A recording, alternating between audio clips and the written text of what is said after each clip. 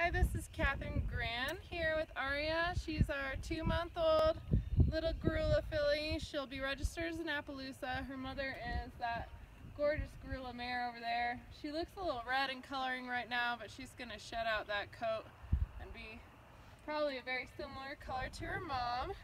And she's been uh, imprinted at birth, handled since birth, and just a lovely, sweet little foal, and she is for sale. So we're gonna show you some early training. Uh, we did a video with Finn kind of showing early, early halter training. She's at the point now that I'm not using the rope around her butt anymore. I'm just asking her to lead from her face. And you always want to start out very soft, asking him to do anything, because then you're to get a nice soft animal. So you can see she's leading nicely. Another thing that I do with them this the day they're born as well, is I'll run a rope right around where you'd have a girth. Kind of pull up with some gentle pressure. You don't have to pull up really hard, but that'll get them used to the sensation of a girth.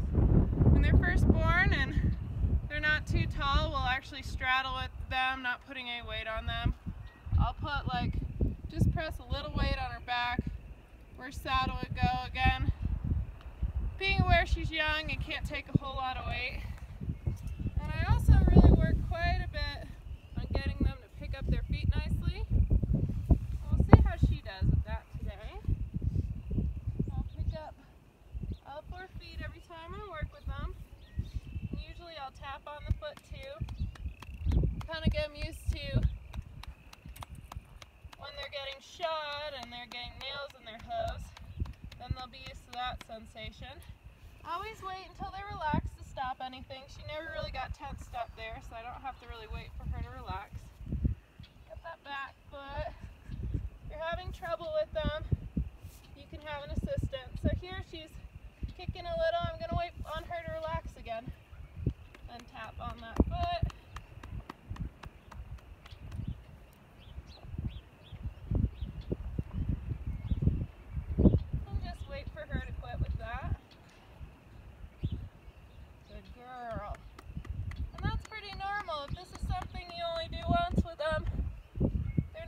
stay good at it. It's a lesson that you gotta very regularly and then you're gonna have an animal that's nice and easy to handle. Good girl. Front foot. Same deal. Good baby. Good baby. And the back. this is so much easier when they're little than when you have a one-year-old or two-year-old or even older. If you guys have watched some of the videos I've done with the rescue mules, it's a lot less safe at that stage than with an animal that's this size to get them used to those things. So if you have the option, doing the early training, desensitization, everything like that is really, really a great idea. Another thing I like to do get them used to rope under their tail.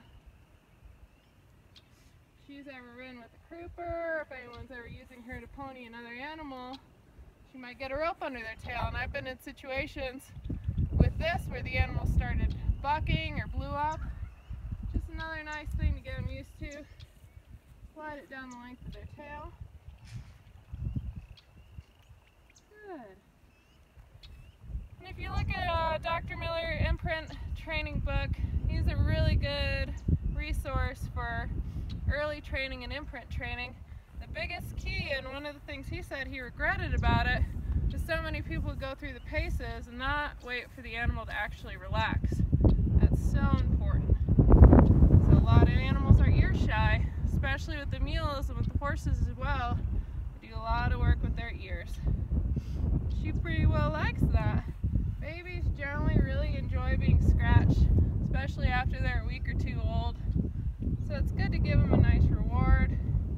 For this age animal, I usually keep training sessions under 10 or 15 minutes.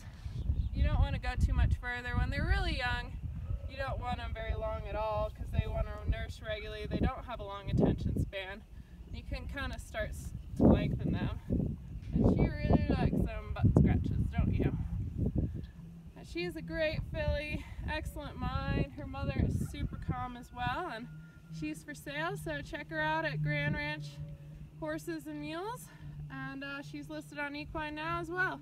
Thanks for watching, everyone.